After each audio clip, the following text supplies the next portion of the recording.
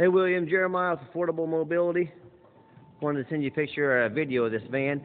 My apologies, it's a 2014, has 67,000 miles on it. So I was thinking of a different van, still very nice. VMI Northstar conversion in floor ramp.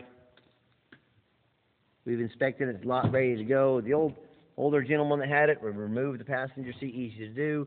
Put the EZ Lock right there and drove. We just had the ramp and door service. Got dual power sliding doors. Everything works great on it. It's got the kneeling system if you want to use it. If you want to turn the kneeling system off, of course you can. But like I said, this is the EXL, fully loaded, very clean. I've got it sitting over here in my warehouse. I haven't even put it on the internet yet. I can send you a Carfax if you want it. Moonroof right there, super clean.